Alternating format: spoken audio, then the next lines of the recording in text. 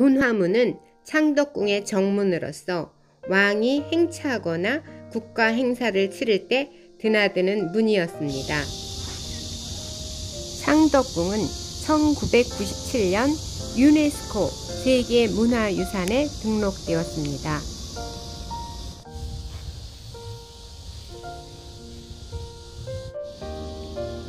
인정전은 창덕궁의 정전으로 국왕의 즉위식 또는 공식적인 대례를 거행하던 곳이었습니다.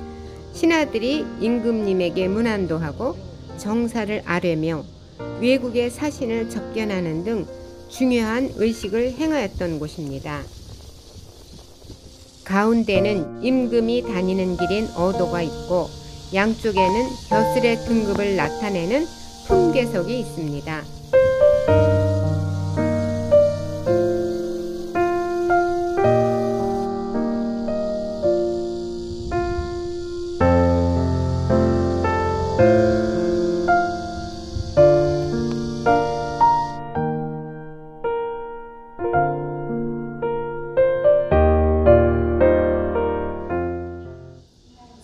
선정전은 궁궐의 편전, 즉 사무공간으로서 왕이 고위직 신하들과 더불어 일상 업무를 보던 곳입니다.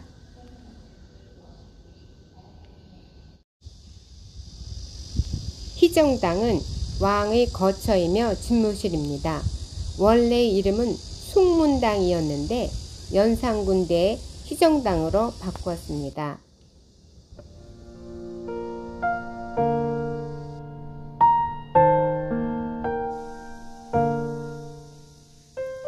대조전은 왕과 왕비의 생활 공간이며 왕실의 큰 행사도 자주 열렸습니다.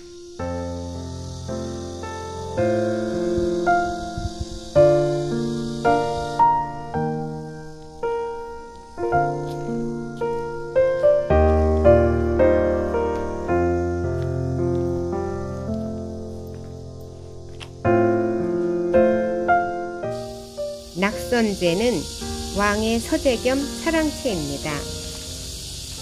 낙선제의 현판 글씨는 청나라의 문인 섭지선의 글씨이고 대청마루 앞 주련의 글씨는 김정희의 스승인 웅방강의 글씨입니다.